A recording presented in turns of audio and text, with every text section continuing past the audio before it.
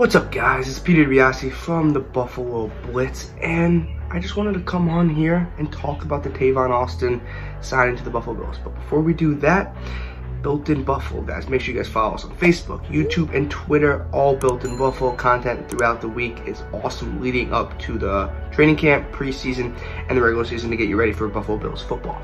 But like I'm always, I'm Peter Dibiasi from the Buffalo Blitz every Wednesday at 8 p.m. on Facebook, YouTube, and Twitter. I'll be back again on 8 p.m. on this Wednesday. So you guys check us out as always.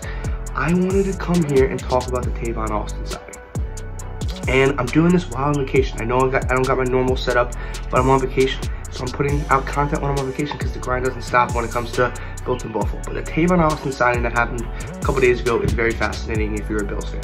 One, it gives the Bills another dynamic weapon on offense. He is not the same guy that the Rams took eight overall a uh, handful of years back, but he is still a dynamic guy on offense that, when healthy, can give you production. I don't see that happening in Buffalo. Look, I don't see him cracking the rotation of offense.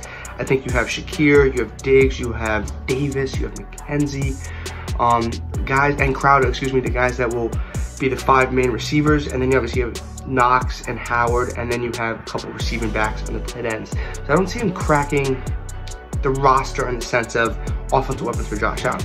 Where I see he could potentially make the roster or be a significant role on this team is the punt returning and kick returning game.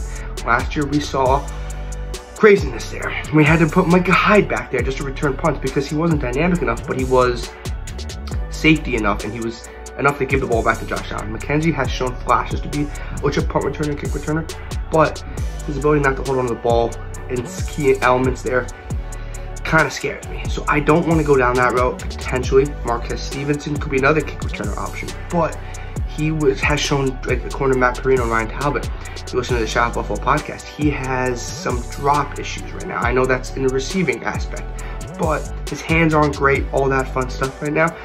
I think if you're Tavon Austin, you have a perfect, perfect prime, I would say opportunity to become the legit punt returner and kick returner on the team. And I think if the Bills could find a punt returner and kick returner that's reliable, that gives explosive plays, that also gives the ball to Josh Allen, but also puts the offense in better field position than they originally started, could be a huge, huge, huge plus to this team.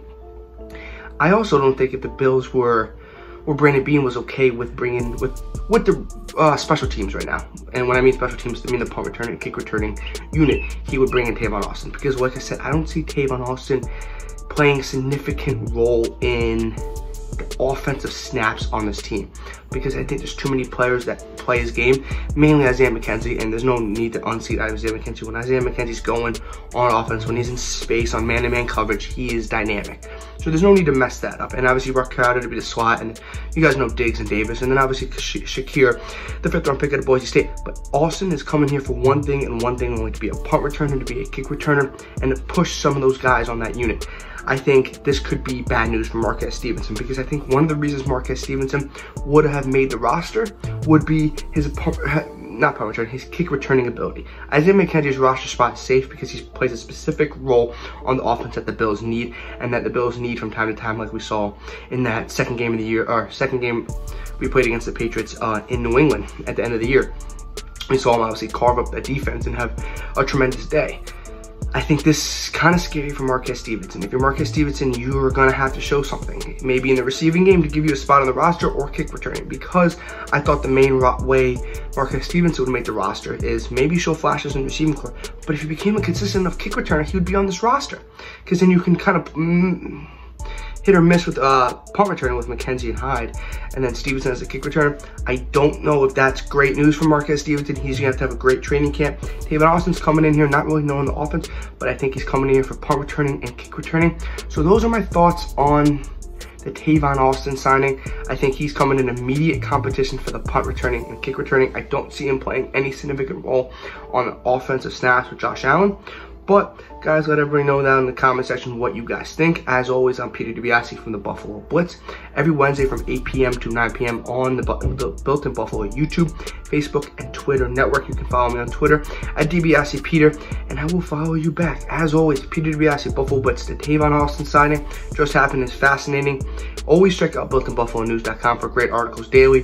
But Tavon Austin, to end it, he is bringing in to play competition for the punt returning and kick returning. I will see everyone every Wednesday at 8 p.m. Built in Buffalo as always. Everyone enjoy the rest of the week. I will see everyone Wednesday.